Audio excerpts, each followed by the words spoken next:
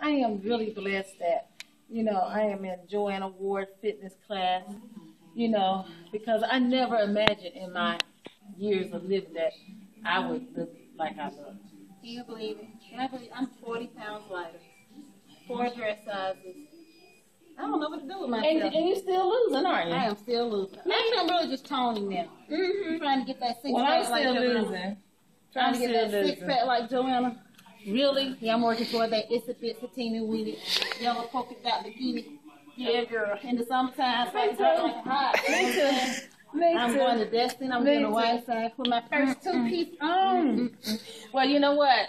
I'm just, um, I got another bikini I want to put on, you know, because I did the yellow one already. And I want to do the hot pink one now, you know. You know what I think I'm gonna do? What are you gonna do, get my, Paula? my basement redone. I need mirrors in my basement. Oh, know yeah. what? I like um.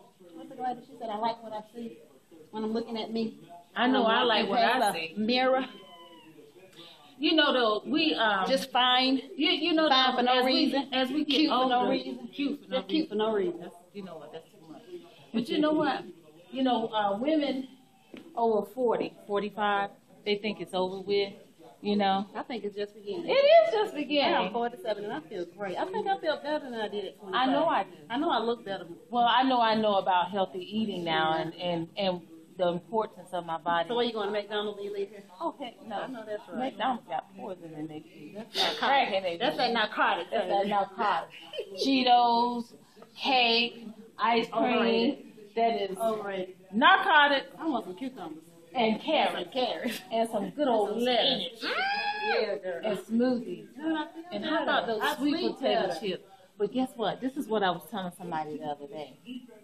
You know, eating bad food, like whenever you put that uh that uh, uh German chocolate cake in your mouth and that butter pecan ice cream, oh yeah, it tastes good when you first do it, but as soon as you swallow it, as soon as you swallow it, you feel like, um, say for instance, you met this nice guy and y'all went out and then you went home and, and got a little tipsy and then he kind of got to you and got that thing and then just kind of left you just feeling all horrible, all horrible and laid down and he left and he gonna call no more. Y'all know what I'm talking about when y'all think y'all got something and ain't got nothing. That's how that bad food make you feel. Make you feel like a lover, a lover that just kind of got that